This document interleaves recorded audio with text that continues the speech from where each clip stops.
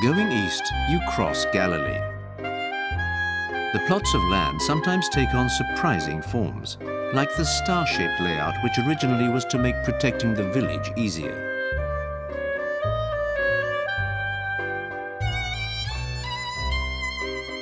The fertile lands of Galilee are situated in a strategic area which is much fought over. In the distance are the Golan Heights, a territory occupied by Israel since 1967.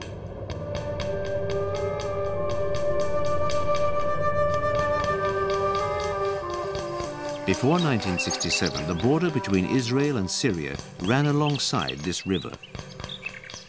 Today, the demarcation line is to be found about 20 kilometers further east. The Syrian positions have been abandoned since the Six-Day War.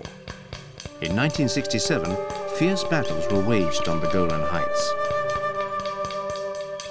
Nearby is the Syrian village of Quneitra. This very sensitive region has been placed under United Nations surveillance.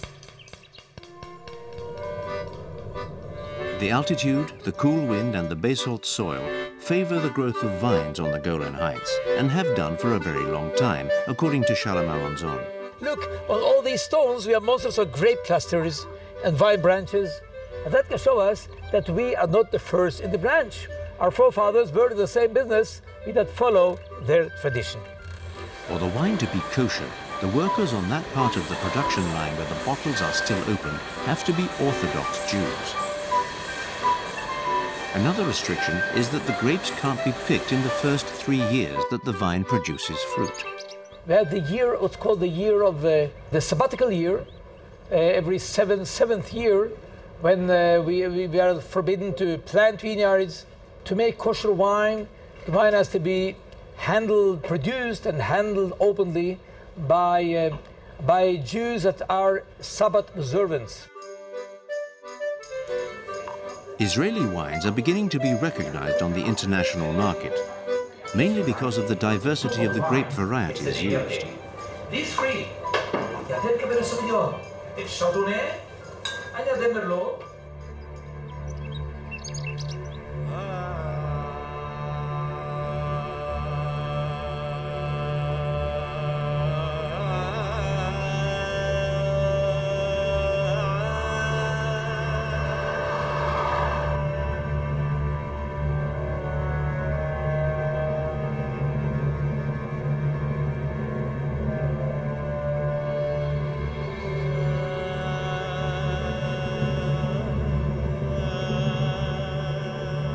there are an amazing number of biblical sites in Galilee. Lake Tiberias, or the Sea of Galilee, is an important place for Christians, as several episodes in the life of Christ took place here, like the miracle of the draught of fish.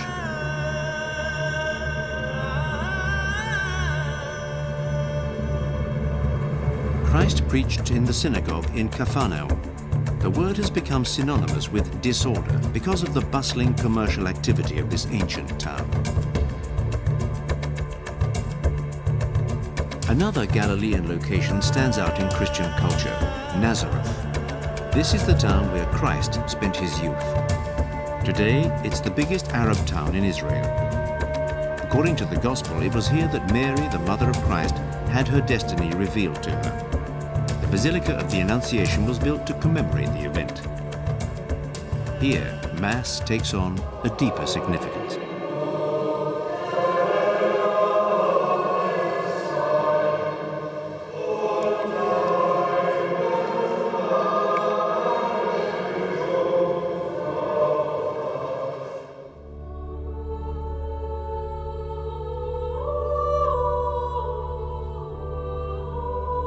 It was on the summit of Mount Tabor that the Transfiguration took place.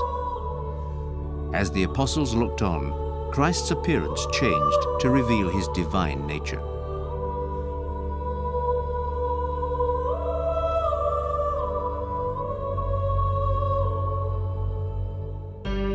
Further south, the ancient town of Beit She'an is one of the great archaeological centers in Israel. The excavations have uncovered the existence of 20 different settlements, each one built over another throughout the course of history. In Roman times, the town was distinguished by the large size of its theatre.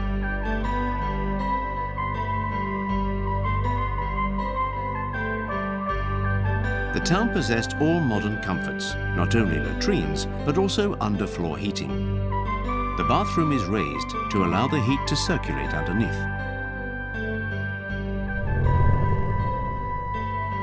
In the 8th century, the town was devastated by a terrible earthquake. Almost everything standing today is due to the work of restoration.